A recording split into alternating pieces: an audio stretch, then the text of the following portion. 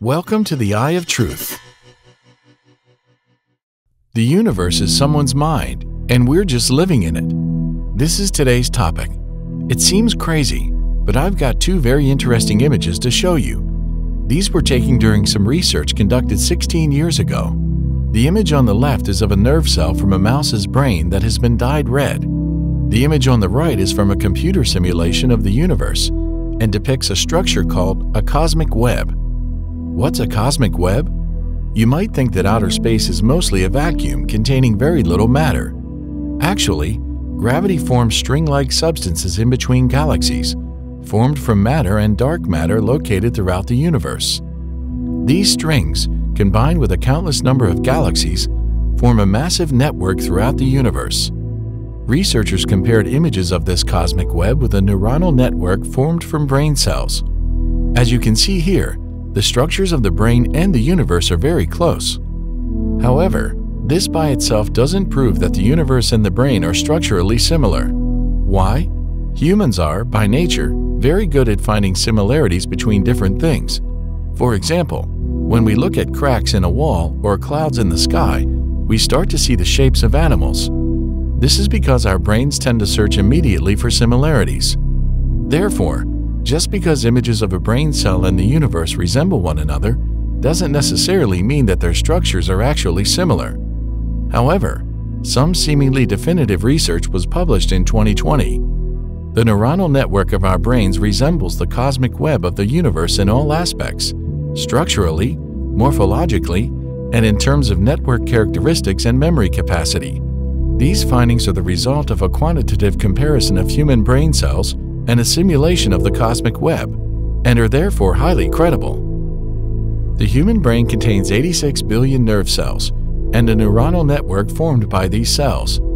In contrast, our observable universe contains a cosmic web consisting of approximately 100 billion galaxies.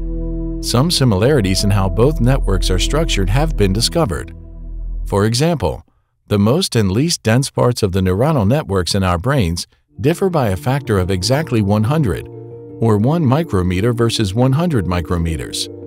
Shockingly, the same range and density has been observed in the universe. The most and least dense parts of the cosmic web also differ by a factor of 100, or 5 million light-years versus 500 million light-years. This degree of similarity is hardly ever observed in the natural world among the structures of different objects with a web pattern. The researchers who published this research investigated the nodal points of the neuronal network of the brain compared with those of the cosmic web.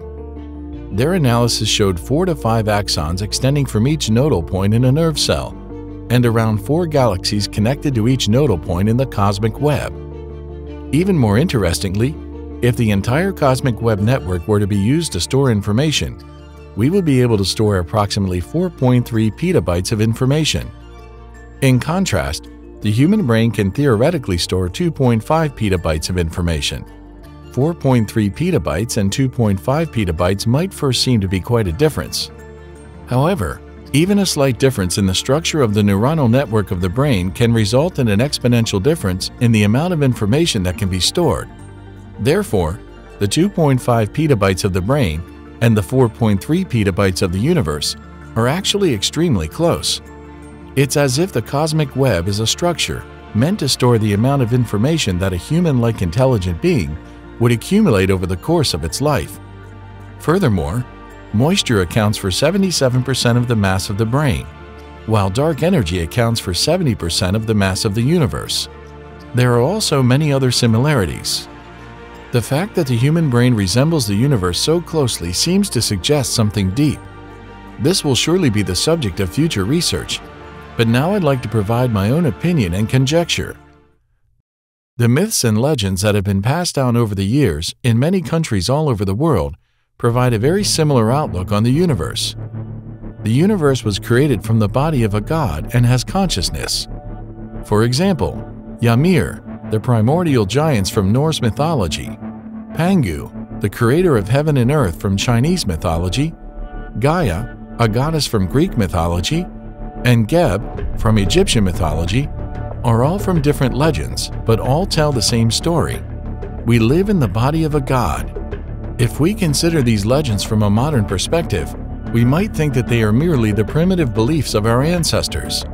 However, there is some modern orthodox physicist with a similar perspective on the universe.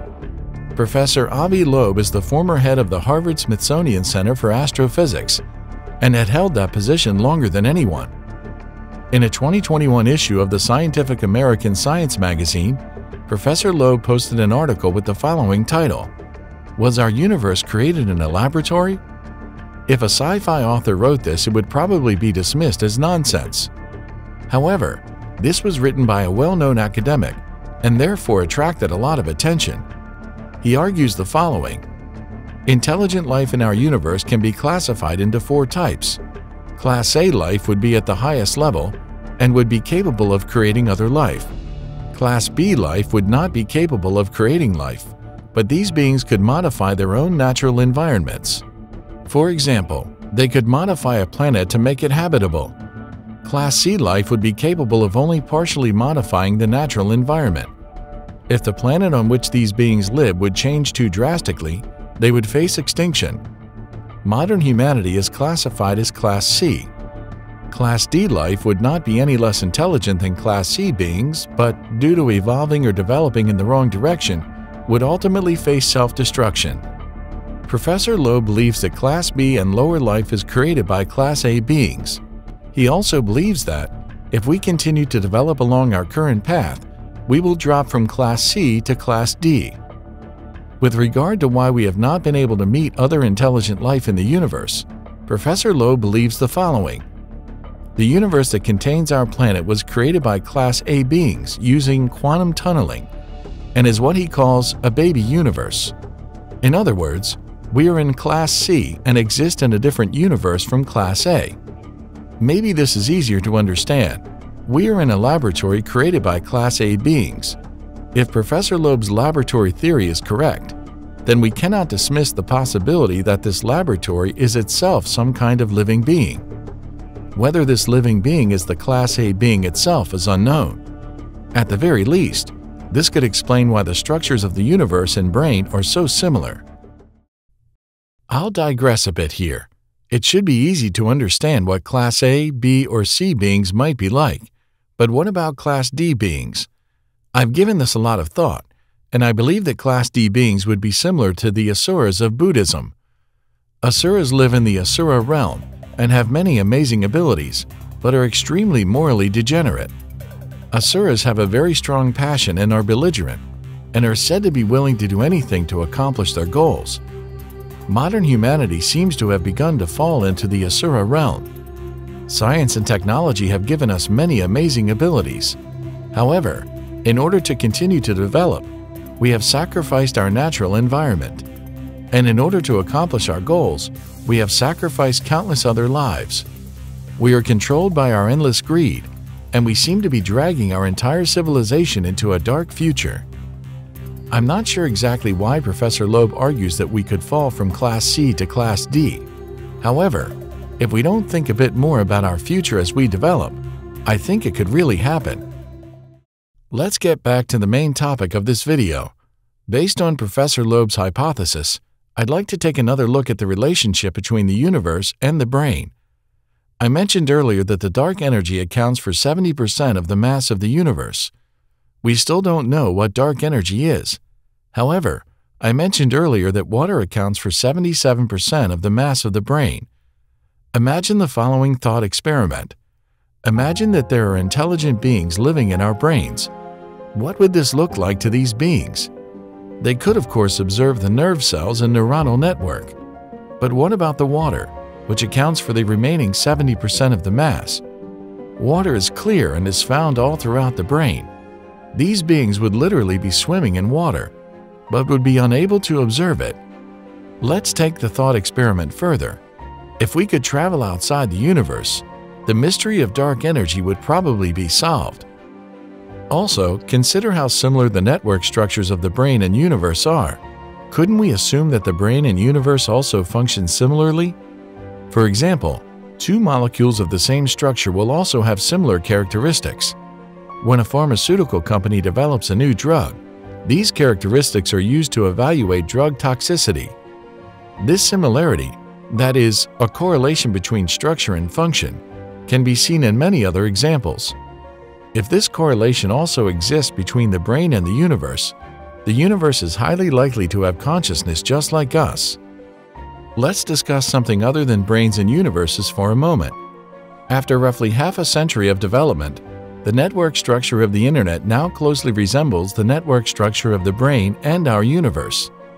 Within the network structure of the Internet, the nodal points would be PCs, smartphones, and other similar devices. These devices, like the nerve cells in our brains, are constantly exchanging and transmitting information with each other. So, does the Internet also have consciousness? No, the Internet does not have consciousness. Yet. What about the Internet of the future? No one knows. Why? The devices currently serving as nodal points in this network are still not very smart.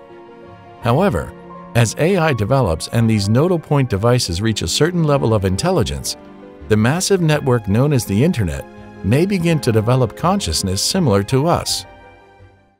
This might sound wild. However, Professor Loeb, advocate of the laboratory theory, has said the following Modern science is becoming more close minded, and this could result in scientific progress being held back. Although Professor Loeb has some very fantastic theories, he may be attempting to open our eyes to new possibilities. That is exactly the goal of this channel, the Eye of Truth. I hope that watching the videos on this channel will get you to think a little bit about our world. That's what really motivates me to keep making videos. Thank you for watching.